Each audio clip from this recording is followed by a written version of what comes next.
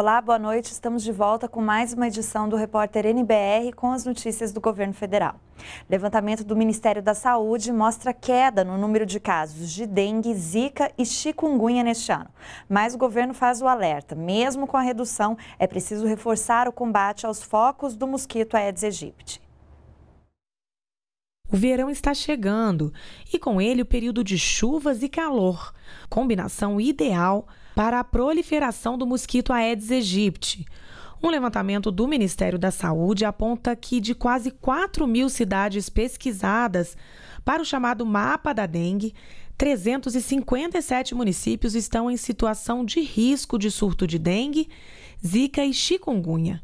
Isso quer dizer que mais de 9% das casas visitadas nessas cidades continham as larvas do mosquito. Os municípios que ainda não apresentaram os dados têm o prazo até o dia 14 de dezembro. Nós tornamos, por uma decisão da Comissão Tripartite, Estados, Municípios e União, o levantamento rápido do Aedes aegypti obrigatório para que a gente tenha uma visão global do problema em todo o país, para que possamos fazer planejamento e gestão temos que ter informação total. Esses municípios que não informarem, no dia 14 de dezembro nós publicaremos a suspensão, o bloqueio dos recursos do repasse que é feito para o, a transferência do, da, da vigilância, dos recursos da vigilância. E aí, os municípios, quando entregarem o, o seu levantamento, terão os recursos desbloqueados. Durante todo o ano, o Ministério da Saúde mantém ações de combate ao mosquito Aedes aegypti.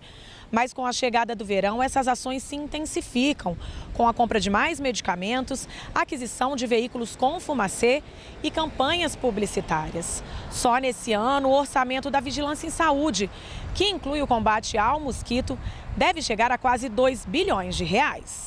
Em 2017, houve queda de 83,7% nos casos de dengue em relação ao ano anterior. Já os casos de chikungunya caíram 32% no mesmo período. E a incidência da Zika apresentou queda de 92,1%, o que fez o Ministério da Saúde declarar o fim da emergência nacional. Mas, mesmo com toda essa redução, o Ministério da Saúde garante que a população precisa continuar em alerta e tomando todas as medidas para combater o mosquito as pessoas sejam motivadas a chegar em casa e eliminar os focos do mosquito. O ciclo de vida do mosquito é uma semana. Se nós trabalharmos com determinação, nós vamos reduzir a, o número de mosquitos e, portanto, a infestação. A nova campanha lançada pelo Ministério da Saúde lembra que o combate ao mosquito deve começar dentro de casa. Todos os anos, o Aedes aegypti tira a vida de pessoas ou as marca para sempre. Para mudarmos essa realidade, precisamos de você. E a mudança começa pela sua casa. E 8 de dezembro será o dia D de mobilização contra o Aedes aegypti. As ações da Sexta Sem Mosquito vão se estender até janeiro, com mobilização dos governos federal, estaduais e municipais. O Ministério da Saúde abriu novo edital para o programa Mais Médicos. As vagas são para 557 municípios de todo o país. Os médicos selecionados devem iniciar as atividades em janeiro. Os candidatos podem se inscrever pela internet até esta sexta-feira, 1 de dezembro. Pequenos empresários e gestores de compras do governo se reúnem em Brasília para tornar mais ágil o processo de compra e venda entre os pequenos negócios e o governo federal. De olho em ampliar contratos com o município, este empresário veio de Cachoeiras, de Macacu, no Rio de Janeiro. Ele presta serviços de transporte escolar para o município.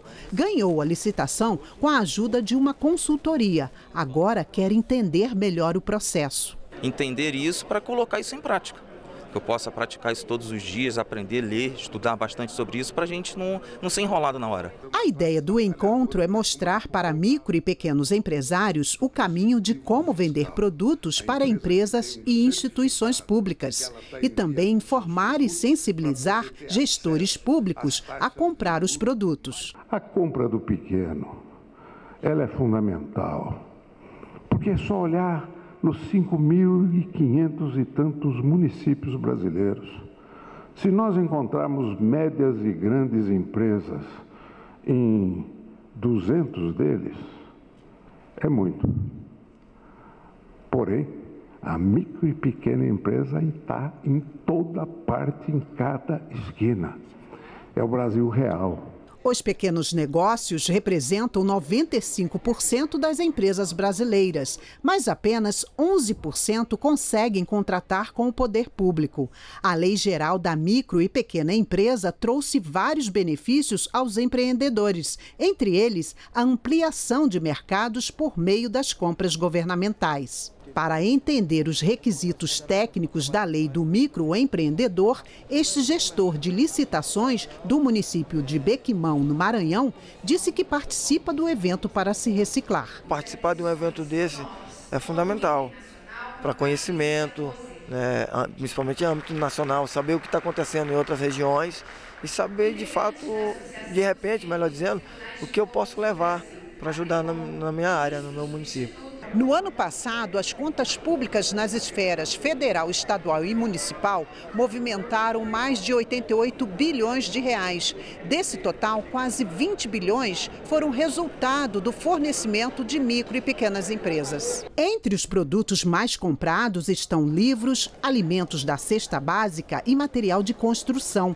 O secretário nacional de Segurança Alimentar e Nutricional do Ministério do Desenvolvimento Social disse que o evento vai ajudar a reforçar o mercado entre o poder público e os pequenos empresários. Em 2015 se compravam 40 milhões de reais. Hoje, com apoio do Ministério do Planejamento, agora fortalecido pela equipe do SEBRAE, nós temos a meta deste ano, por determinação do presidente da República, a chegar a 260 milhões de reais.